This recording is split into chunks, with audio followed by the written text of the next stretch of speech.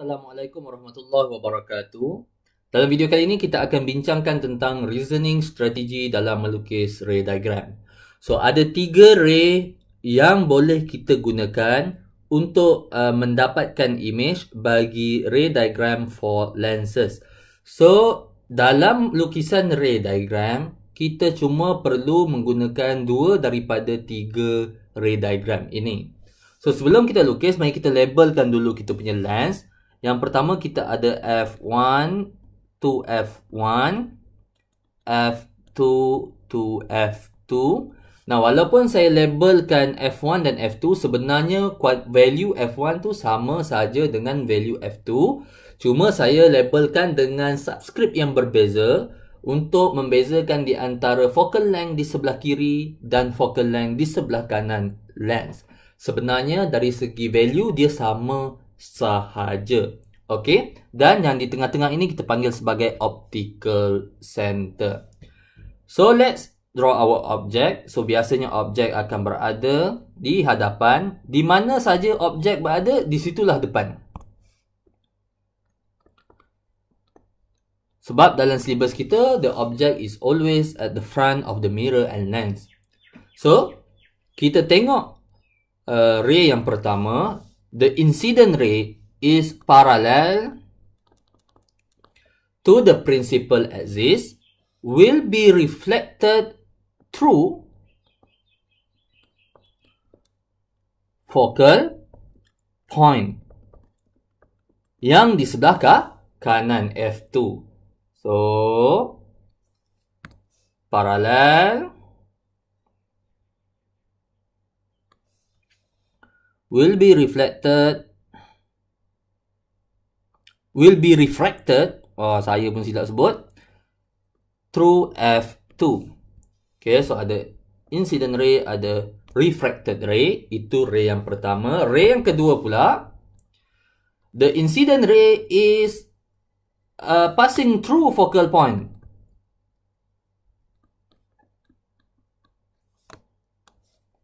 F-O-C-A-L, focal point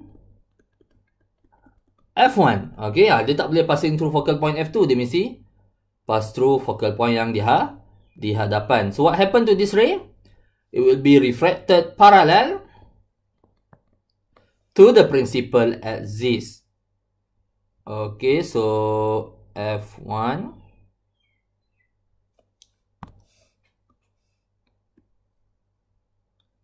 Will be reflected parallel to the principal axis.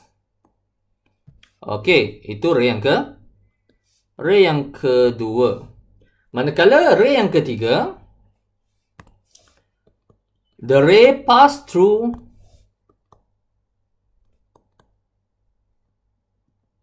optical center O. So, the refracted ray will pass through in straight line. So dalam erti kata there is no bending, there is not uh, the the ray is not refracted. They pass through in straight line. Tanpa ada apa-apa bengkok langsung. Okay. So itu tiga ray kita. Ingat mesti ada arrow, incident arrow and refracted arrow. Dan image yang terbentuk adalah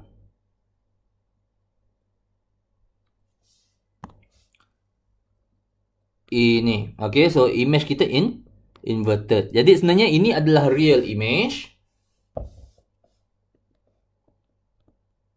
Dan real image kita lukiskan dengan solid line. So itu tiga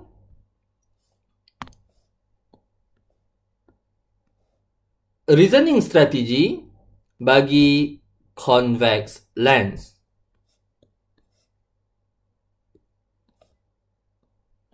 Mari kita tengok tiga reasoning strategy bagi concave lens pula. Untuk concave lens, saya cuba nak labelkan point O, point F1 dan juga point F2. Now, concave lens is a diverging lens So if we place the object at any point in front of the lens, the image will uh, always the same, which is virtual, upright, and um, diminished. Okay, so let's draw the object.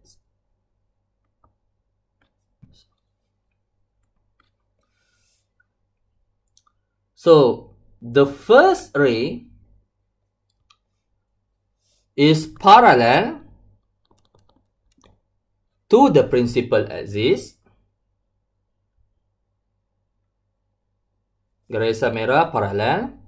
So what happened? So the ray will appear to originated from focal point.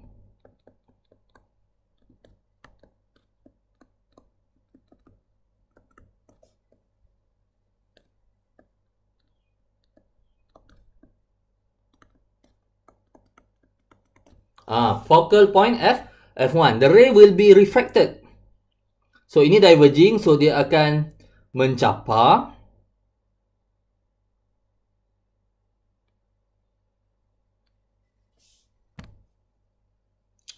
Dia akan refracted begini. Seolah-olah dia macam datang daripada F F1. So this is the first ray. The second ray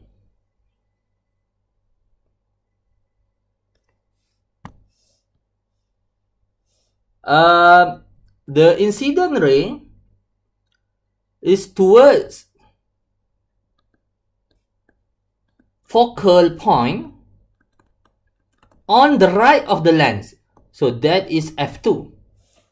Ah, ray yang kedua nak pergi kepada F F2. The refracted ray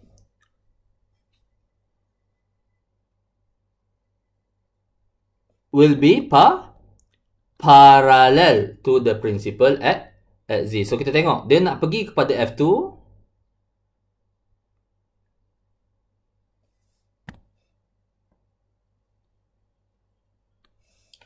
dan dia akan reflected pa parallel.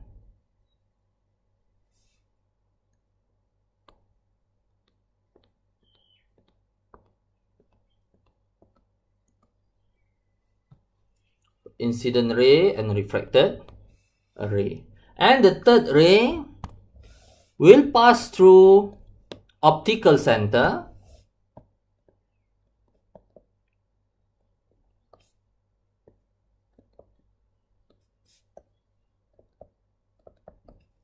Okay, the ray will pass through in straight in straight line. Straight line. So the third one is the blue line will pass through 0 or point O and that will pass through in straight line. So the image is formed in front of the mirror, uh, in front of the lens and this image is virtual so we draw it as a dotted line.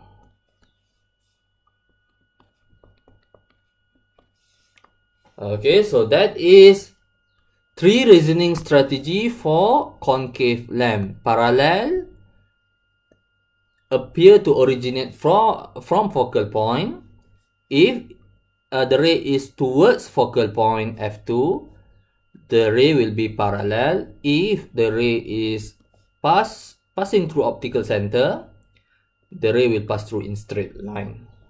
So in next video we are going to sketch six diagram uh, for both concave and convex mirror. So that's all for this video. Thank you for watching